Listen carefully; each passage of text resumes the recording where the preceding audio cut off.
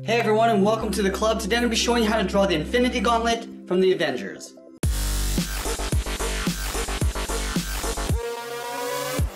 Now we get started by drawing the stones across the knuckles. So starting in the center of our page, I'm going to draw an oval for the Power Stone. Starting at the top, we'll work our way down to the bottom of the oval, and then back up towards the top. Now we're going to leave a gap and draw the same thing over on the left. So let's line up the top of the oval,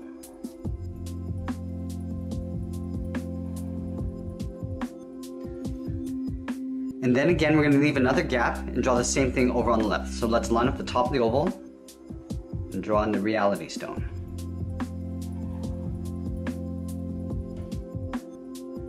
Now we're gonna leave another gap for the soul stone, but we're gonna drop this down slightly. Starting at the top, draw another oval. Now we're gonna add a frame around each stone. So let's start with the soul stone first.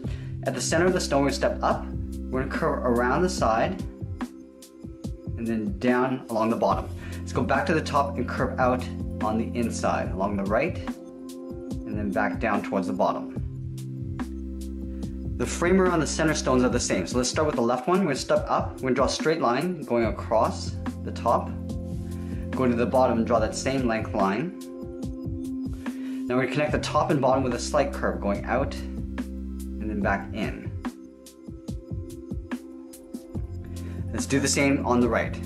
Start with the top line, and then the bottom line, and then we'll connect the ends with a curve.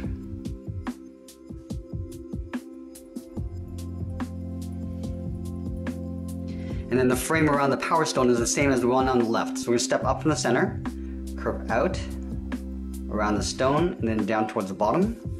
Go back to the top, we're gonna curve in the opposite direction. Now let's add in the knuckles. On top of the soul stone on the left, we're gonna curve up and then in. Draw a straight line coming across. Now in between these two stones, we're gonna draw a V, coming down and then back up. Let's go across the top. And then again, we're gonna draw another V in between. And then we'll go across again. Let's add one more V along the inside.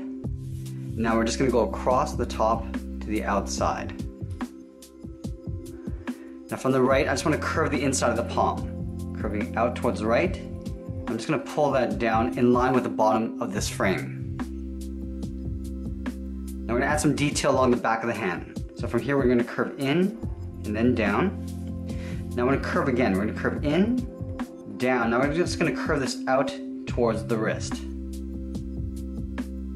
Now let's go over towards the left side. So underneath the stone, gonna curve down and just pull that into right about there. I just wanna angle this down and out towards the edge of the cuff. Now from these two points, I wanna curve down and in. We're gonna leave a gap in the center. So let's start on the left side, curve down and then in, leaving a large gap, curve down and in from the right side. And then from here, we're gonna draw two short angled lines coming up and in. And then we'll close off the inside with a straight line. Now in the back of the hand, we're to draw in a large oval for the Mind Stone. So let's start at the top, drawing a large oval. Now we're just going to draw a frame around it, so leaving an even space gap all the way around.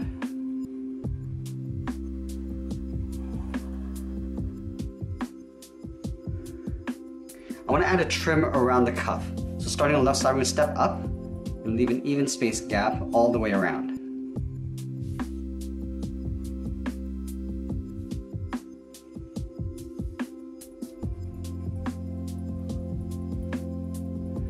Now let's add some detail around the Mind Stone. On either side, we're gonna draw a short angle line going up and out. Now we're gonna curve around and then down. Curving around the stone, and just pulling that back in. Now I'm gonna draw a short line going out towards the side. Now from here, I just wanna pull this in towards the center, just above the cuff in the center. Going down with a straight line towards the top. At the bottom of the stone, I'm gonna add a V, just for a little detail. And then we're gonna do the same thing on the side, but we're gonna point these out. Going out, and then back in. Now let's move back up and add in the fingers. At the bottom of this V, I'm gonna draw a straight line going up towards the top of the first finger. And I'm gonna curve up and then out. And down. Now I'm just gonna angle this down towards the inside of the hand. Let's draw in the second finger. From here, we're gonna curve up and then down. Now I just wanna angle down towards this bottom point with a straight line. Let's add in the third finger. From here, we're gonna step down, curve up, and then down. And again, we're gonna angle down towards that bottom point of that V. And then we'll add the fourth finger. Stepping down, curve up, and we'll just curve this down towards the top corner of the knuckle. Let's add a trim across the fingers. Starting from the left, just above the knuckle, we're gonna curve up and then down. On the third finger, we're gonna curve up and then down. Same thing with the second finger and then the index finger. Now let's go in and add in the thumb. From this point, I want to curve up over this point and then out. So go in, over that corner, and then we'll just pull that out.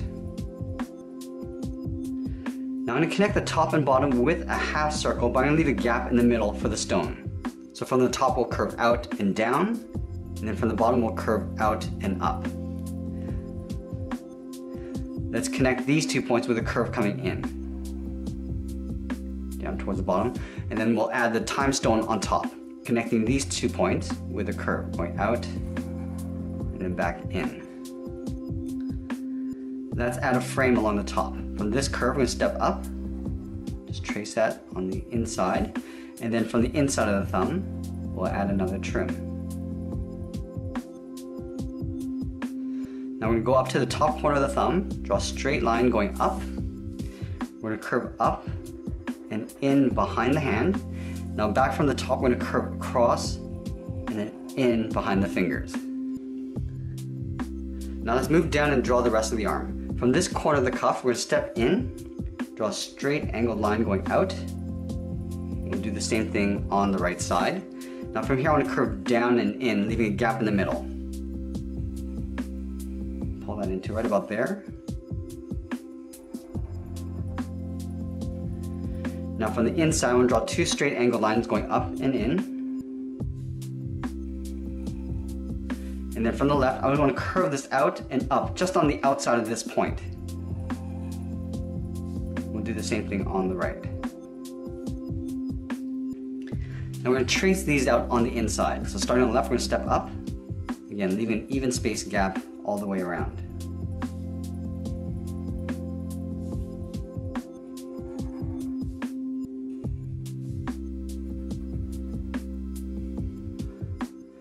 Now halfway along the inside of this line, I'm going to draw a short angle line coming down and in. Do the same thing on the right. Now we're going to connect these two points with a curve going up the middle and then back down. I want to trace this out on the inside.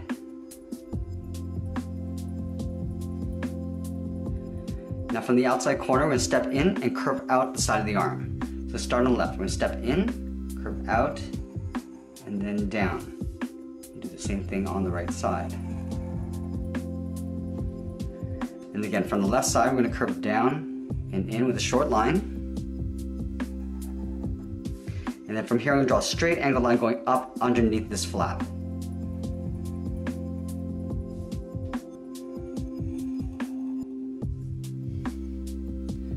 Let's trim this out on the outside. So from the corner, we're gonna step up, follow that same curve, and then leave an even space gap to the top.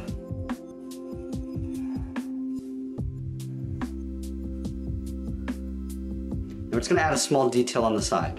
From this trim, we're gonna step up, curve in about halfway, and draw a straight angle line going up towards the top.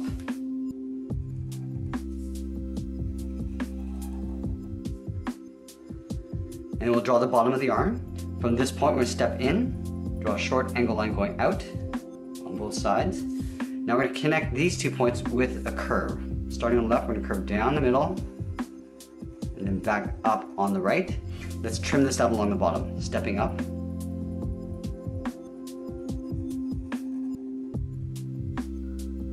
Let's add that detail in the center of the arm.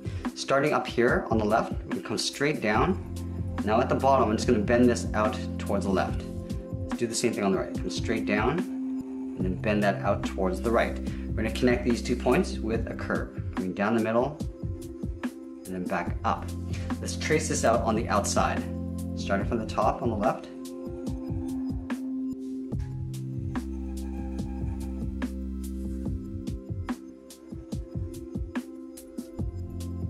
I'm gonna add some more detail on the inside. On the left, we're gonna step down, draw an angle line coming down and in towards the center. We'll go up on the right side. Now from the center, we're gonna come straight down towards the bottom to right about there. Now let's go back to the left side. I'm gonna draw a curve going over that line, coming down and then back up. Then we're gonna draw some angled lines coming down the side. Starting from the left, we're gonna step down. I'm just gonna draw a few lines coming down at an angle and we'll flip that over on the right, going up. Let's do the same thing to the side panel. Starting on the left, we're gonna step up. I'm just gonna angle these down, leave an even space gap in between. And then we'll do the same thing on the inside of the arm. I'm just gonna add a little bit more detail on the inside here. So start from the top, we're gonna leave a gap in the middle, draw two straight lines coming down, now from the left side, I'm gonna curve this out and then down. Do the same thing on the right. Now it's gonna trace this out on the outside.